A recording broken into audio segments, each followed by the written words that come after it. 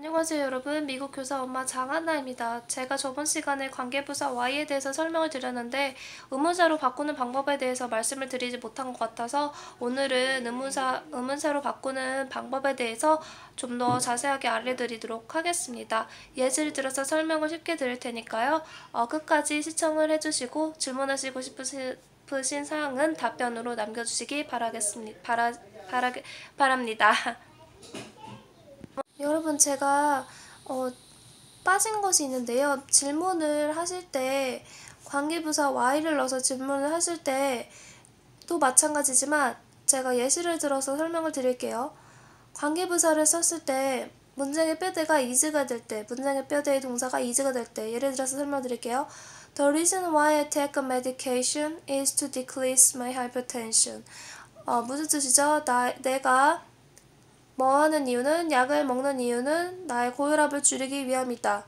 그랬을 때 문장의 전체의 동사의 문문을, 문을 만들 때 문장의 전체에 뼈대가 된 동사 하나만 잡으시면 돼요. is죠? is기 때문에 is는 비동사이기 때문에 주어 동사 조치를 시키면 됩니다. 그래서 이 문장을 의문문으로 만들 때 어떻게 되죠? is the reason why I take a medication to decrease my hypertension 이런 식으로 되겠죠?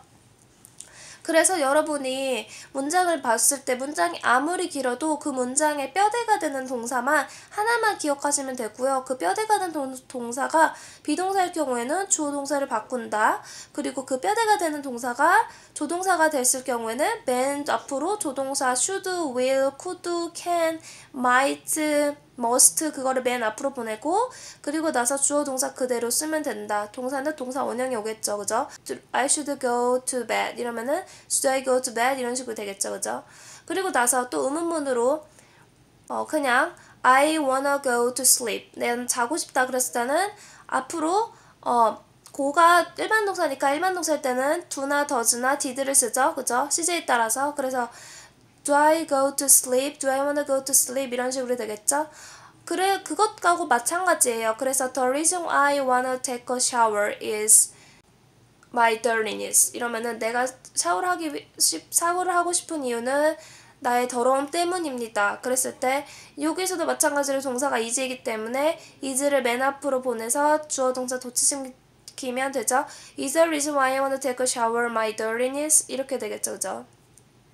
그래서 제가 늘 영상마다 강조하는 게 여러분들께 강조하는 게 문장을 하나에서 그치지 마시고 그 문장 하나에서 주어 동사를 도치시키거나 더즈 디드나 디, 어, 둘을 넣어서 문장을 의문사로 바꾸시고 조동사를 넣어서 다른 문장의 의미로 만들어 보시고 세 번째는 수, 동사의 시제를 바꿔서 다른 문장 형태로 만들어 보고 그리고 마지막으로 주어 동사에다가 어, 형태만 바꿔서 I 대신에 she를 넣거나 어, she 대신에 he를 넣거나 그렇게 해서 주어 동사에다가 주어 목적어에다가 어, 좀 바꿔서 변형을 해서 한 문장을 여러 가지 수십 개 문장으로 만들어 보라고 말씀을 드린 겁니다. 그리고 그것을 쓰는 거에서 그치지 마시고 반드시 입으로 뱉으셔야 합니다.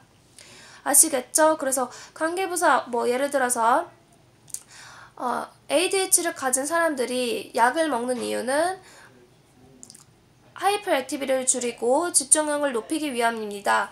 이걸 어, 또 하면은 The reason why people with ADHD take a medication is to decrease hyperactivity and in, to increase attention. 그것도 여차, 마찬가지로 뼈대가 되는 동사 하나만 보라고 말씀하셨죠. 그게 바로 비동사이기 때문에 그 비동사를 문장의 맨 앞으로 보내고 주어 동사 도치시키면 됩니다. 그래서 is the reason why people with ADHD take a medication to decrease hyperactivity and in, to increase attention 이런 식으로 되겠죠. 만약에 예를 들어서 the reason why I want to divorce means loss of love 이렇게 되겠을 경우에는 내가 이혼을 하고 싶은 이유는 사랑의 결손이다. 이런 식으로 되겠죠. 어, 사랑의 결손을 의미합니다. 이런 식으로 되겠죠. 그것은 means라는 게 바로 주어도 means라는 게 바로 어, 의미하다에다가 주어가 3, 주어가 3인칭이기 때문에 s가 붙였고 그것을 바로 어, 문문문을 바꾸면 은 means는 일반 동사 의미하다이기 때문에 어, 3인칭의 갔을 때 더주를 앞에다가 써서 바꾸면 되죠. 예를 들어서 Does the reason why I want to divorce mean loss of love? 이런 식으로. 그러면 무슨 뜻이 되죠? 내가 이혼을 하고 싶은 이유가 사랑의 결손 때문, 사랑의 결손을 의미할까? 이런 식으로 되겠죠, 그죠? 그래서 의문문으로 반드시 바꿔보시는 것을 수도 없이 연습을 해보시기 바랍니다. 그래서 오늘은 관계부사 Y에 대해서 설명을 드렸는데요.